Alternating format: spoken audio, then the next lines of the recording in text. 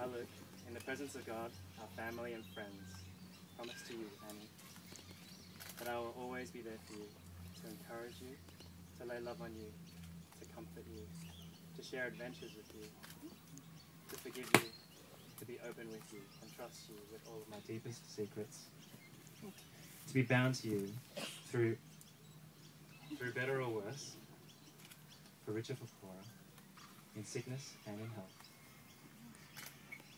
Anni, I love you now, and I will endeavour to do so with each passing day of our lives. Till death separates us. Good. Thank you, Luke. And Anni?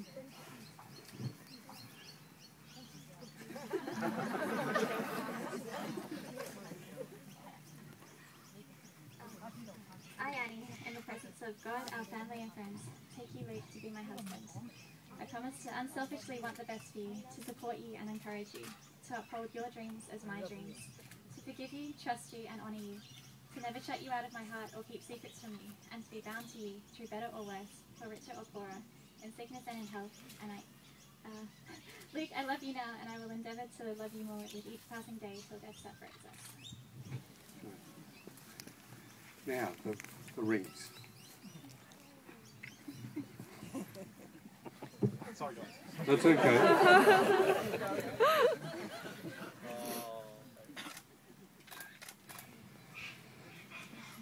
Now, if you slip on, and then just hold it there when you've got it on, and then repeat after me. I give you this ring in God's name as a symbol of all that we will share. as a symbol of all that we will share. And then if you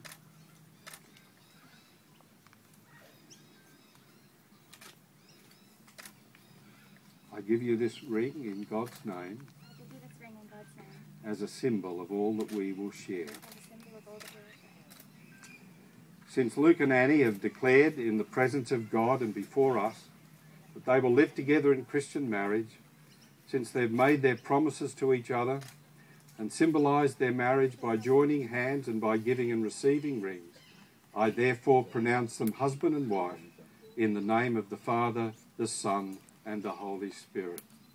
Those whom God has joined together, let no one separate.